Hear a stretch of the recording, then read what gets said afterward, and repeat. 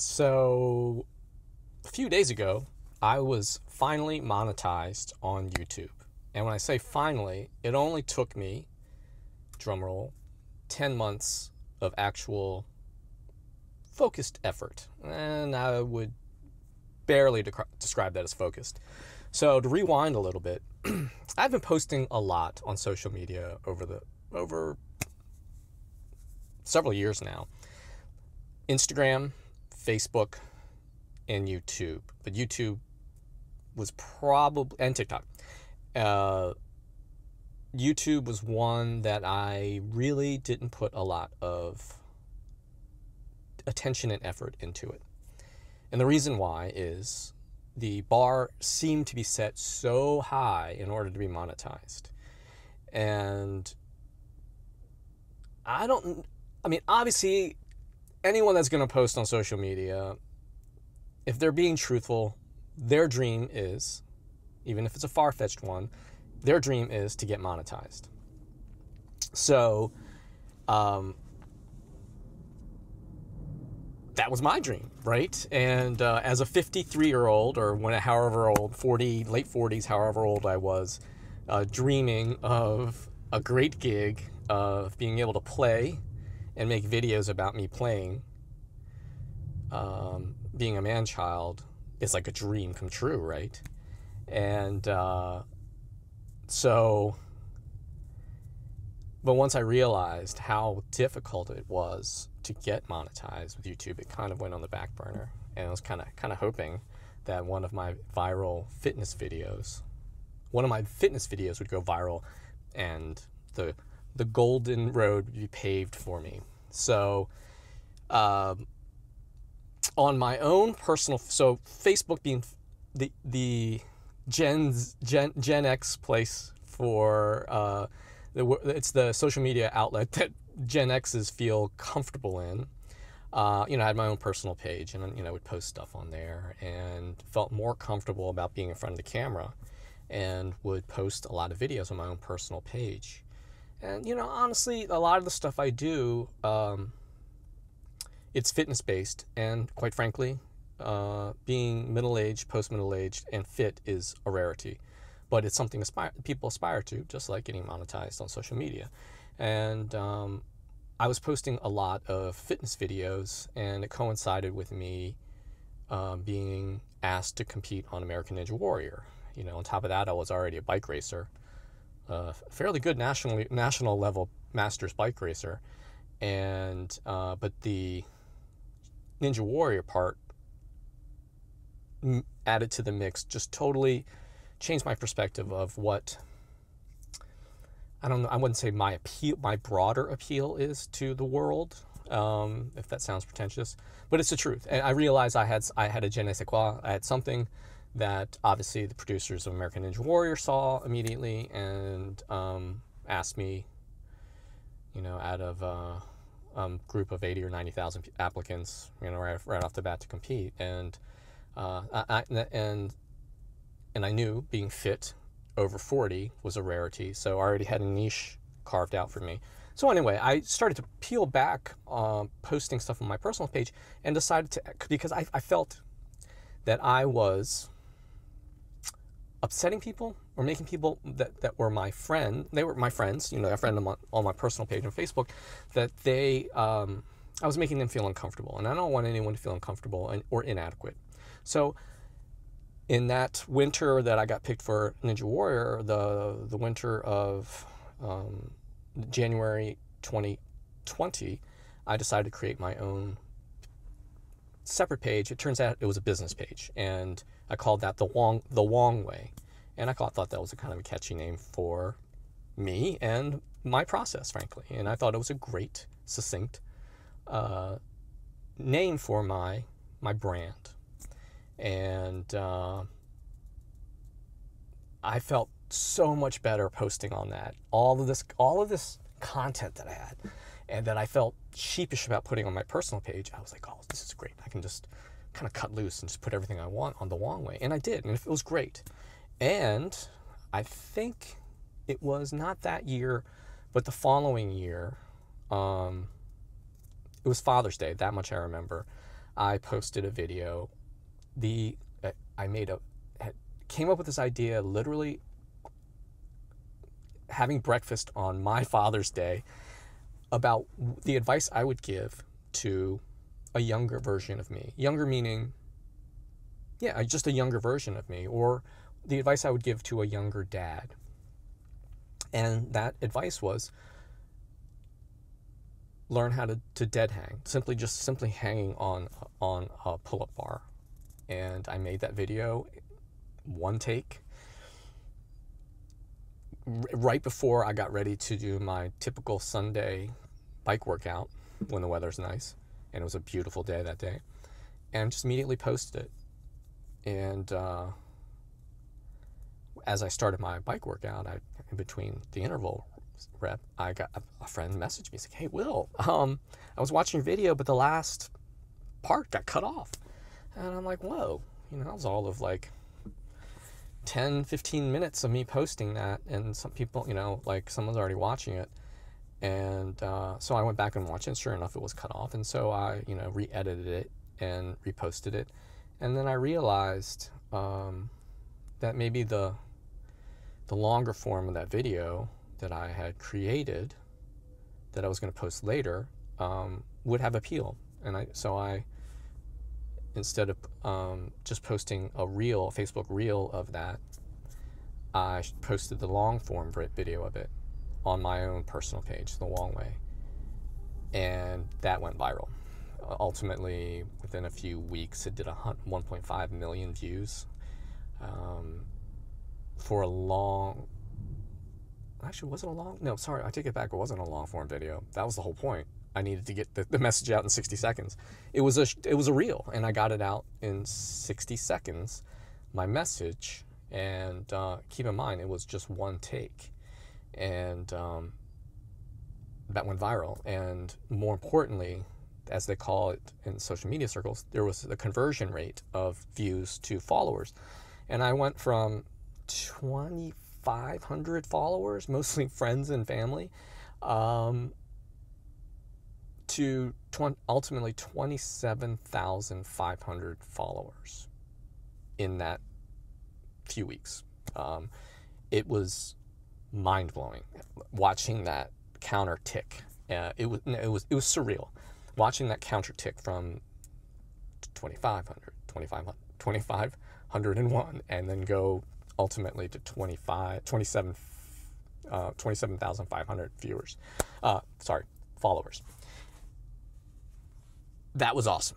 That was so freaking cool. Um, because once I realized the implication of that, that the of that conversion rate, that that something I'd said in that video in that 60 seconds or 59.5 seconds resonated with someone, 27,000 people, and I suspect most of them were middle-aged people, and um, that's my target audience. I I, I realized like, hey, I'm not going to try to to convince an 18 year old how to be fit. And but trying to convince a 44 or 45 year old person what it takes to get fit and stay fit yeah i, I, I am a subject matter expert and, and that subject matter expert i'll get back to shortly and so it was great it, that really buoyed um, my hope that uh, i have a message that can resonate with people. It resonated with American Ninja Warrior producers, it, um,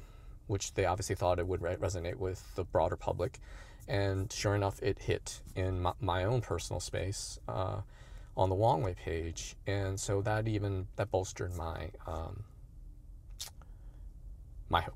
And so I just kept on posting, and the, the page has, has done well and has continued to done well. Um, my attrition rate of, of followers is very small. I'm down to like 26,900 followers. So losing 600 people, not a big deal. Um, but it hasn't grown much. It's growing slowly. Um, so that said, uh, Instagram, I've, I've posted probably the, long, the longest of, of, of just um, of just those little reels and stuff. And and I joke, Instagram hates me for whatever reason. I get no traction. I get no additional followers. Um, it just it's the stagnant, but I like Instagram because I kind of use it as a test bed for um, ideas I have and videos I have and, and just throw it out there. And I know it's not going to do anything. But, I, you know, as, as that Wong Way page is blowing up, I still, again, used Instagram as a test bed because here it was these, you know, they're, all, they're owned by the same company. And it's just curious, like, how does this whole um, algorithm work and how much different are, are they between the two? So it was a nice little, like, cause and effect kind of ping pong kind of, kind of thing. I could, could and it was a great test bed. And I have zero success on Instagram, and, and I don't mind telling people that. Um, and then TikTok. I, I, personally like TikTok. I think it's great um, on an educational basis, uh, and on an entertainment based basis, and um, but trying to cover these just two social media platforms and adding another one takes a lot of effort. And I know on TikTok, at least the time when I started posting every day, was advantageous for, for you to get attention from the algorithm. Probably more so than all the other ones. And, and I started to do that. Um, I did have a video sort go sort of viral um, a couple of days before I left for France in October um, it was it was a Costco video uh, of people hoarding. They're not going to say they're hoarding, but uh, being worried about the dock worker strike and rushing to, to, to Costco to go buy stuff, and that boosted my followers by fifty percent in a day. Uh, that kind of puts me now now in a decent category of I can see I'm actually getting more followers on TikTok. Which, speaking of which, um, brings me to YouTube.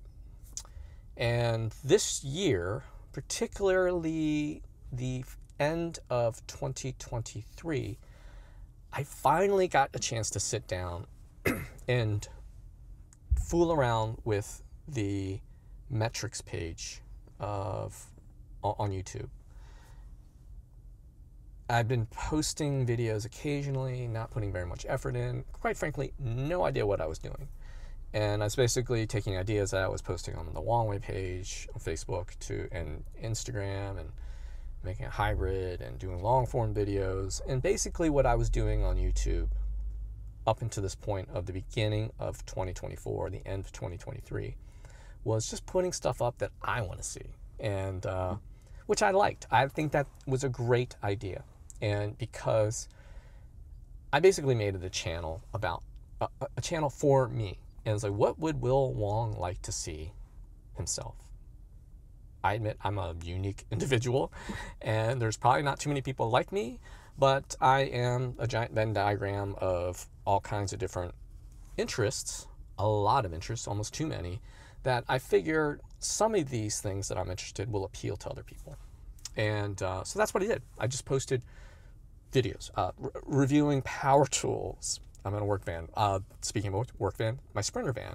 The thing I love about my Sprinter van is, is I, you know, I, work out of it 99% of the time, but on occasion I'll take it to go bike race, and um, and making this uh, a hybrid camper work van, you know, the being able to wash my hands while I'm working is nice and hygienical and uh, healthy.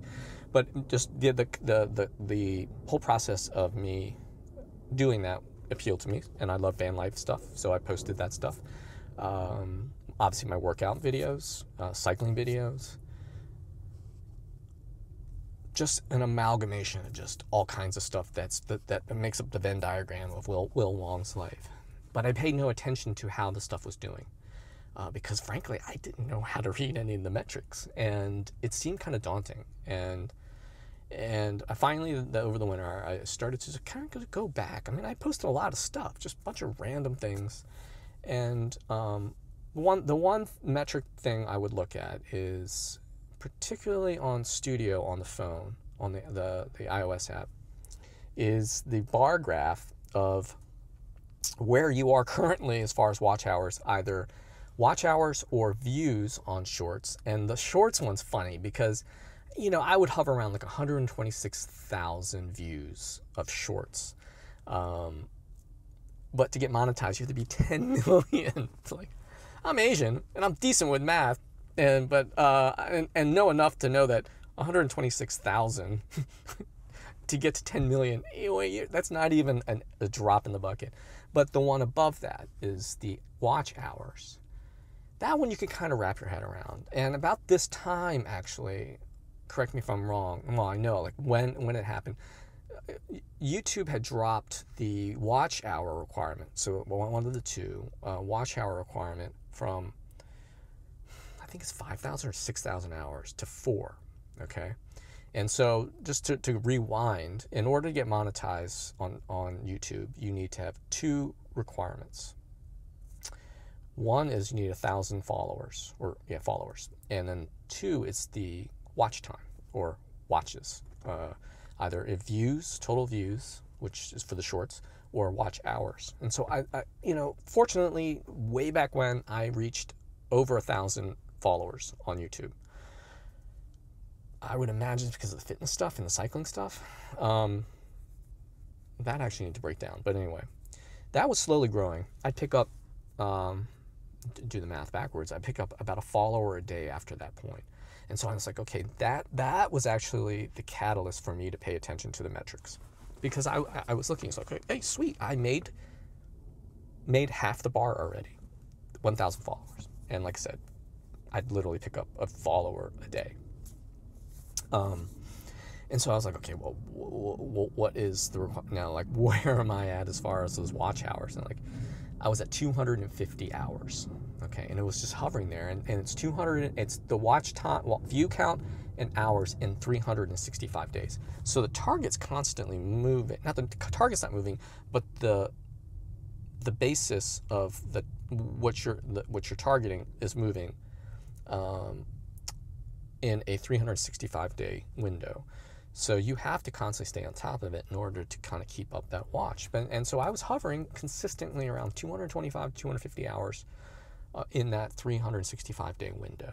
And uh, it's like, man, that's still, even though it's not 10 million, 4,000 compare 4,000 compared to 250, it's it's a lot. And and uh,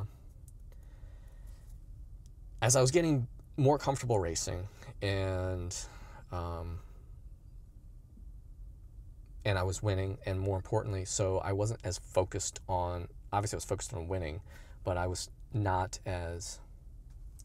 I had more time and energy because now I knew how to win, and I knew how to do, uh, become a little bit more fluid in my training and preparation. So I had just a little bit more time. So I decided I'll take that little bit of time and I'll start to try to um, film more of my w- what goes into me being me on the athletic side um, and just filming more and that's the other thing is just to film more because again having that extra time taking a moment to before while I do a strength training workout or calisthenics workout or bike workouts like let me just set the camera up and just get a shot and uh, I tried to do that at races um, it didn't work out as well this year, but it's, it's gotten better. It's, it, it was more than I'd done before. And uh, so, like, I realized um, let me see what videos uh, people actually watched.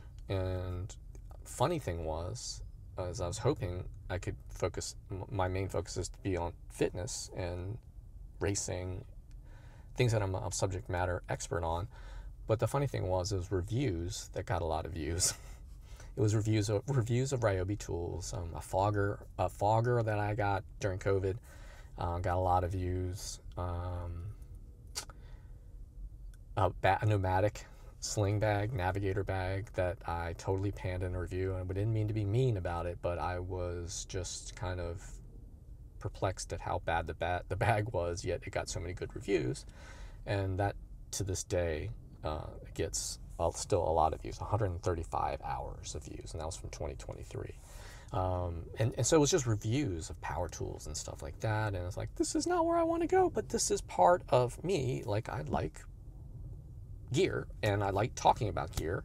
And so this is part of that venn diagram. And i, I, I made that those videos and but that was helped build those 250 hours.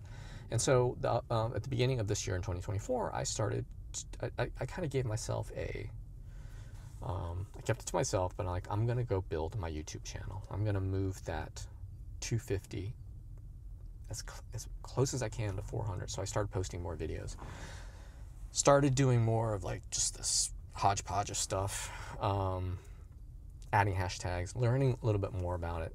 And to be honest, the stuff I was the filming the videos, I screwed that up. Um, unbeknownst to me, when I changed libraries on Final Cut, that it dropped the resolution every time I was making a video. It was in standard definition and posting it, and I had no idea because I was in a hurry to go and make videos because this little bit of time I had, I was like, I only have time just to, to make videos, let alone post them and tweak them and learn the whole YouTube algorithm process.